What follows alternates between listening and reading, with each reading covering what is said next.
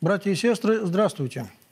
Э, поскольку мы взялись находить у Павла в Новом Завете такие поэтические отрывки догматического и э, характера такого, и, по сути, песенно-поэтического, где в краткой форме стиснуты очень большие смысловые такие объемы, мы сегодня с вами прочтем кое-что из второго послания Павла к Тимофею.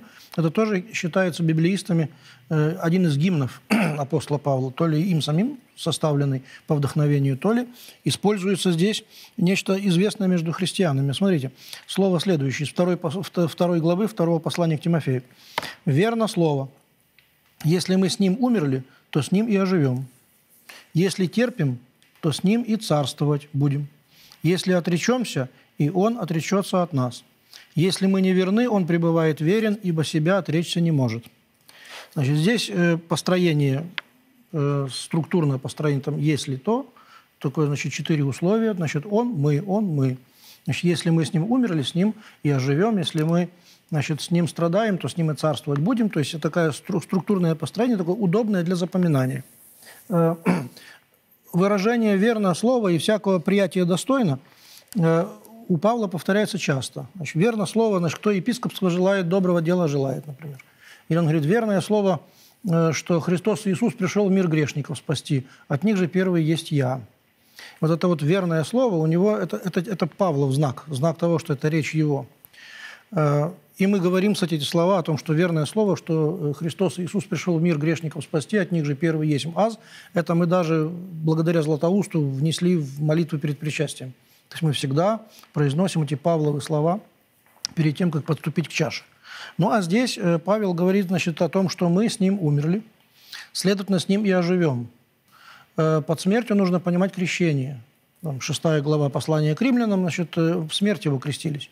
Все мы, кто крестили, крестились в Иисуса, в смерти его крестились.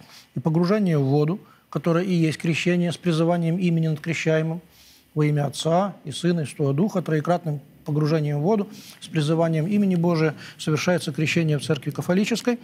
Э, это есть смерть с Ним, для того, чтобы и ожить вместе с Ним. Значит, мы с Ним умираем, чтобы с Ним ожить. Если терпим с Ним, то с Ним и царствовать будем.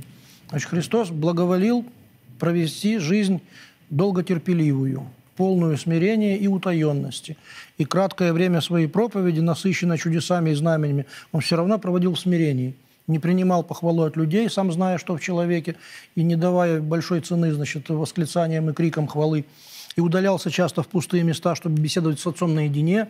И проводил жизнь такого бродячего проповедника, полную смирения и, и скорбей, зная, что каждый шаг его жизни приближает его к тому, для чего он пришел. Это взять на себя грехи мира и пойти на крест. Поэтому, если мы с ним терпим, этот образ терпеливого Иисуса – образ э, отрока Иеговы, на которого легли все тяжести мира, что э, э, раны мира были на нем, как Исаия пишет, да, потому что, что мы думали, что Бог наказывает его за грехи, а оказывается, он возложил на него грехи всех нас. И рану его мы исцелились. Значит, если мы с ним терпим, с ним и царствовать будем. Это тоже такая центральная вещь, такое, нам даровано царство. Нам только нужно не потерять его, нужно только войти в это царство, не отрекшись. И об этом дальше тоже пишет Павел что если мы отречемся, и Он отречется от нас. Об этом говорит и Евангелие, что кто постыдится меня и моих словес, вроде всем прелюбодейным и грешным, того и Сын Человеческий постыдится, когда придет во славе Своей, во славе Отца Своего с ангелами святыми. То есть Господь Иисус Христос сам обещает сказать, что я не знаю тех, кто скажет, что я не знаю Его. Это, это на самом деле тяжелая вещь. Это, это ту, ту тяжесть, которую испытал на себе великий Петр, когда он говорит, я не знаю этого человека. И три раза это сказал, пока петух не запел. То есть да убережет Бог нас от, этого, от этой беды, чтобы мы не отреклись никогда от Господа Иисуса.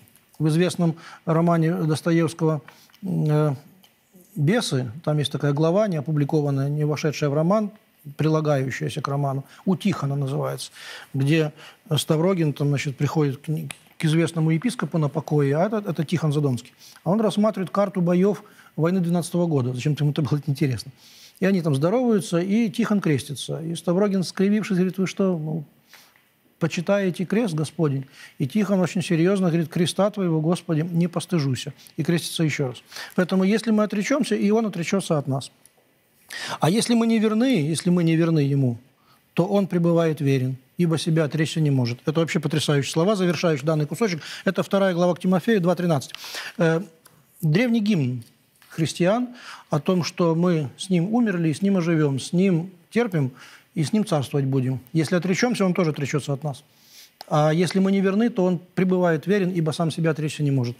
Э, об этом можно долго говорить, но время наше вышло. А вы исследуйте Писание, ибо таким образом воссияет в сердцах ваших звезда утренняя, и познание Иисуса Христа станет более очевидным. До свидания.